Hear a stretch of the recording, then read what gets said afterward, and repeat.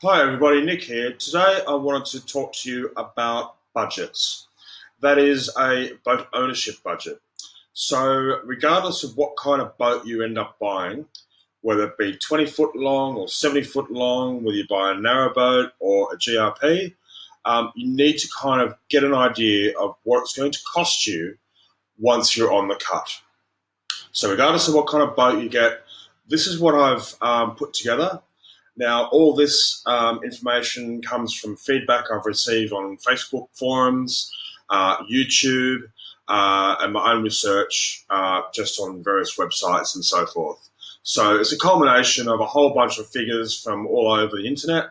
Um, and I've put it together in a simple format so that you guys can get an understanding of, you know, what the costs are when you decide to move on to the cut Insurance. Now, regardless of what kind of boat you have, you'll need to get insurance, and you'll need to get this before you can apply for your license, your Canal River Trust license.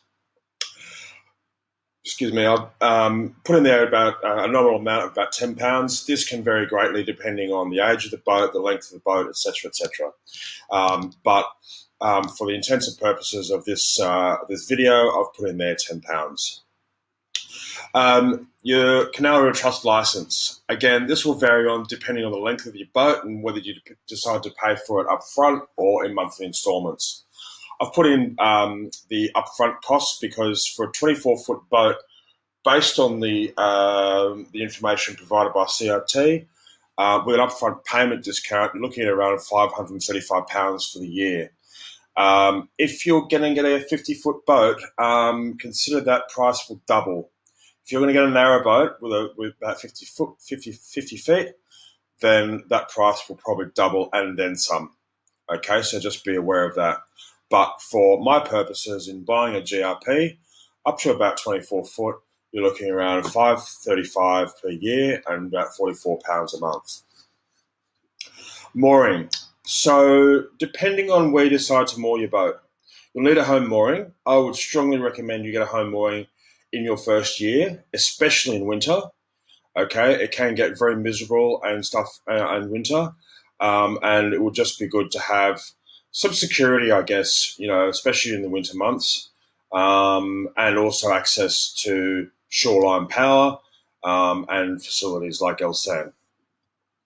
But this will vary greatly. So the um, one of the moorings I, I was considering is on the Aylesbury Arm. That's the um, the Aylesbury arm of the Great uh, Grand Union Canal.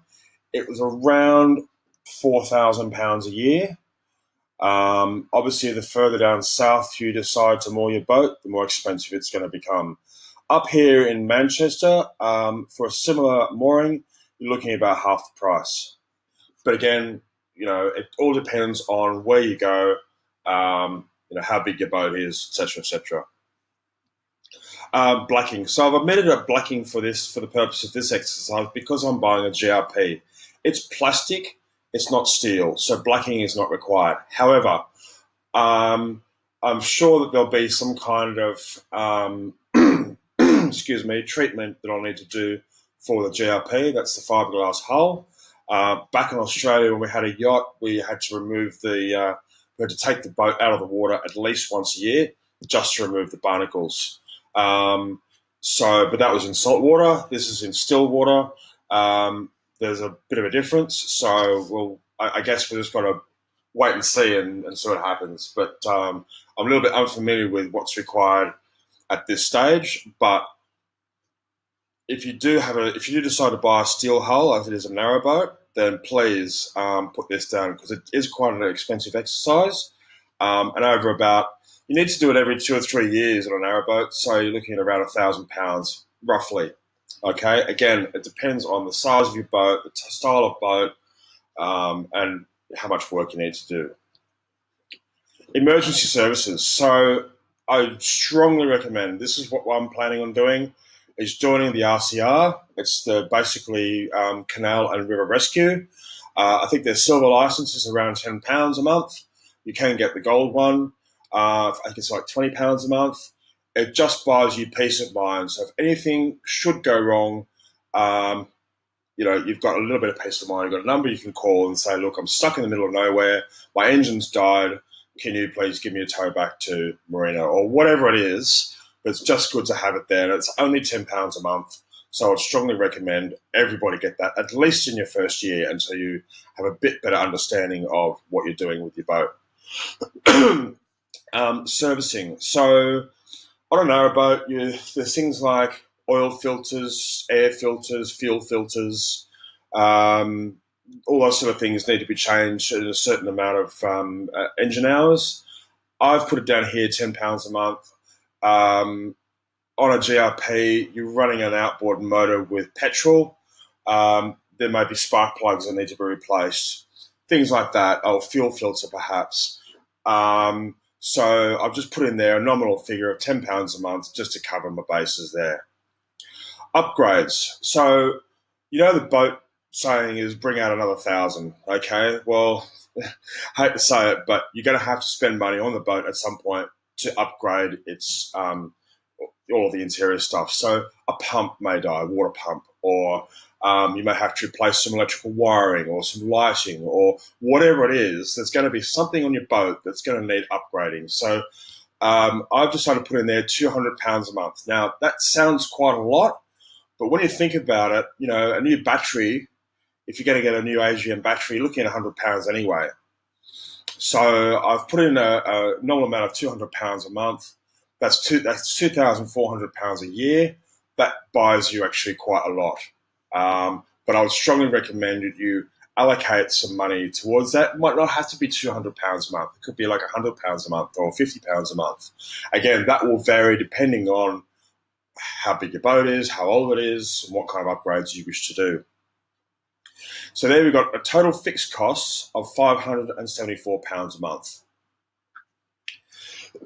now to the variable costs. Now, again, all these variables means obviously they're going to change over time. A lot of the ones, a lot of the figures above are fairly fixed.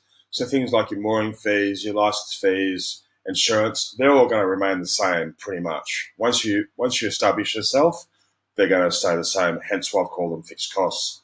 Your variable costs, however, will go up and down depending on your usage. So things like coal, for example, coal you'll need to keep warm in winter. You probably only need it probably nine months of the year. So that's what I've calculated this on, and I've worked out it's going to cost around £44 a month. Gas, again, it depends on how much you use, but I'll put in there roughly £10 a month for £120 a year. That may go up, it may go down, depending on my usage. Electricity, I'm planning on installing solar panels, so hopefully I won't have too many power issues. But if I was going to be ashore, you'd probably expect to pay around £10 a month. Um, again, it depends on your usage, depends on the marina and how much you charge per kilowatt hour. Petrol or diesel, again, depends on usage. I put in there about £10 a month. Pump out, not uh, applicable in, at this point a pump out toilet requires you to basically put all your human waste into a tank, a separate holding tank, for you to pump out um, at a, a, marina that has those facilities. Um, if I was going to buy a narrowboat, or when I come to buy a narrowboat, I will reluctantly get a pump out because um, from the reviews that I've read, um, they can create more problems than they actually solve. Um, you've also got a holding tank that's got to hold all of your um, human waste for a long period of time. It's also expensive. It costs about twenty pounds to empty your pump out toilet. So I'm going to be trialing a composting toilet. I'm probably going to make one, but um, I'm going to after the reviews I've read online, um, I'm probably going to try a compost toilet. Yeah, compost toilet. To start with, I'll probably just get a um, cassette toilet uh, and just empty it out at the Elsan point every few days. TV license. This is um, debatable. Um, some people say you do. Some people say you don't. Personally, I'm making this. I'm trying to make the decision on whether I actually have a TV on board at all. Um, I don't think I'll need one, but it's nice to have on occasion if you just want to sit down and watch a, a movie or whatever. Whether you need a TV license, I'm going to leave that one up to you. I may go into it in another more detail with another video, but um, I've put in a zero figure because I'll probably cancel our TV license because I really don't think I'm going to be watching a lot of uh, a lot of BBC while I'm on the boat. Uh, mobile phone internet again depends on um, who you're with and you know who your provider provider is. Um, but I've put in there a normal amount, about thirty pounds a month, uh, and that's just to get you know mobile internet essentially, so I can upload YouTube videos like this one. Um, food, again, it depends on your lifestyle, but I've put in there two hundred pounds a month. That's for two people, so that's fifty pounds a week. We, I guess, we spend around twenty five pounds a week at the moment. Um, again, it may go up and may go down. Uh, that could include pub meals and things like that. So I've just put in a, a, a figure there of two hundred pounds. So total living cost or total variable cost is two hundred ninety four pounds a month. That gives us a total cost of eight hundred and sixty eight pounds per month. Now, to have a, I've just done a comparison as well. So I've done a shore living comparison. So these are what we're, this is what we're currently paying now. Okay, so we've got a two bedroom mid terrace in Stockport. It's cost us £650 a month. Our council tax, council tax, ridiculous, £175 a, a month. Water, internet, electricity, gas, food, and Nick's Mobile. My mobile. Okay. Um, so I've calculated all that, and it comes to oh, and holidays. So, given that we're buying a boat, essentially one of the things we're planning on doing is travel around England. Um, but I don't think it's going to cost four hundred pounds every time we go away. One of the biggest beefs I have about traveling in this country is how expensive it is. So another reason for getting the boat is so that we can travel around Britain and it doesn't cost us, you know, four, five, six, seven, eight hundred pounds every time we want to go away for a weekend. So I've, I've put that in there. But if we take that out, we're looking at about twelve hundred pounds. That's still a saving of around four hundred pounds a month if you were to live on a boat. okay, admittedly, you're going to lose around ninety five percent of your space from living in a house. But this is the compromise you have to do if you wanted to get onto the water and save a bit of money. excuse me, and so this is what you're going to have to do. So look, I've I've put in there, so including the holiday bit and all the other bits and pieces, it's going to cost us around £1,600 per month. That's what it costs us now.